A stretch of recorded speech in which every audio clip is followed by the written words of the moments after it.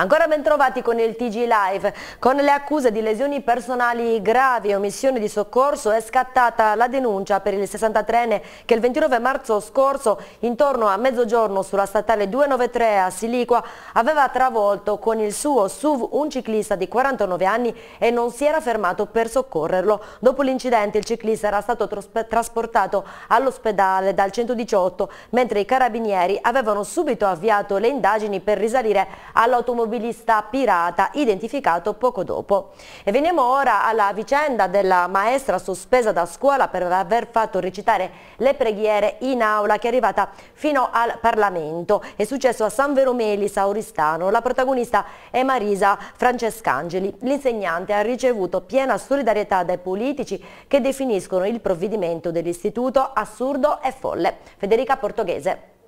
Maestra sospesa per 20 giorni dall'insegnamento con riduzione dello stipendio per aver fatto recitare agli alunni in classe l'Ave Maria e il Padre Nostro e aver fatto realizzare un piccolo rosario. Succede nella scuola primaria di San Vero Milis in provincia di Oristano. La protagonista dell'episodio è Marisa Francescange di 58 anni. Il fatto risale alle festività natalizie del 2022. La polemica è nata in seguito alla protesta di due mamme. I primi di marzo la notifica di sospensione per l'insegnante che ha dichiarato di essere vittima di un'ingiustizia, una vicenda che ha smosso la solidarietà non solo di colleghi cittadini genitori, ma anche degli animi politici. Il deputato di Fratelli d'Italia, Francesco Mura, ha annunciato un'interrogazione urgente al ministro della Pubblica Istruzione del Merito, Valditara, sulla sanzione attuata dall'istituto e dall'ufficio scolastico regionale. Partendo dal presupposto che la laicità dello Stato e della scuola sono un valore assoluto raggiunto con anni e decenni di eh, progresso, eh, qua possiamo invece dire di essere davanti a un evento ben diverso, perché se la parola di Dio eh, può essere vista come una minaccia per la crescita e la formazione dei nostri bambini, allora questo può valere anche per qualsiasi altro pensiero intellettuale. Anche il deputato di Forza Italia, Ugo Cappellacci, ha espresso piena solidarietà su Facebook all'insegnante. Pensare che una preghiera recitata in classe possa essere offensiva nei confronti di qualcuno, credo che sia offensivo il concetto. E chi ha pensato a una cosa di questo tipo, chi è arrivato a combinare una sanzione assurda, credo che debba fare un passo indietro e meriterebbe lui una punizione esemplare. E la prima cosa che suggerisco a questi integralisti laici è quella di rinunciare alle vacanze pasquali, alle vacanze di Natale per coerenza. L'eco della vicenda è arrivato fino a Montecitorio. Anche i deputati della Lega, Giorgia Latini e Rossano Sasso, vicepresidente e capogruppo in Commissione Cultura e Istruzione, hanno richiesto l'intervento del ministro Valditara ed espresso la loro solidarietà sui social.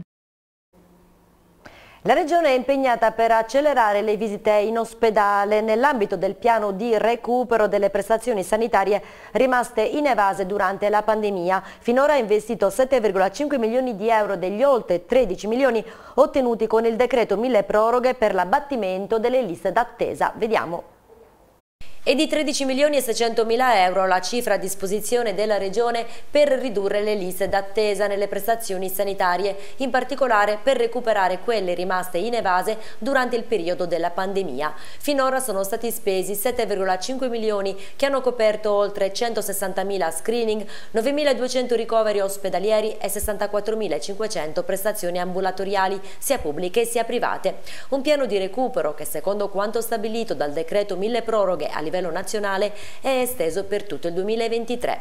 L'impatto del Covid, ha detto l'assessore Carlo Doria, è stato devastante sulla sanità regionale, già impoverita da una lunga stagione di tagli e blocco del turnover iniziati fin dal 2004, ma il piano di recupero delle prestazioni in alcuni casi ha registrato risultati superiori alle aspettative e l'esponente della giunta Solinas si è impegnato perché le risorse a disposizione del piano regionale siano impiegate per recuperare tutte le visite visite rimaste indietro. E l'assessore alla sanità Carlo Doria, in risposta alle proteste in merito al trasferimento della diabetologia dall'ospedale San Michele agli ambulatori di Quartu Sant'Elena, dice che è coerente con il nuovo modello d'assistenza a cui si sta puntando per renderlo moderno e sostenibile. La sanità territoriale, prosegue Doria, deve avere l'importante compito di gestire le cronicità, indicando invece l'ospedale come luogo di cura delle fasi acute della malattia. Riaprirà a breve a Cagliari via Porcelle la strada che era stata chiusa al traffico per colpa di un muro pericolante a rischio crollo. Ora con il via libera dell'università che ha effettuato i controlli il comune prepara la riapertura che riporterà alla normalità la viabilità che in quella zona della città aveva subito diversi disagi. Tatiana Picciau da UTG.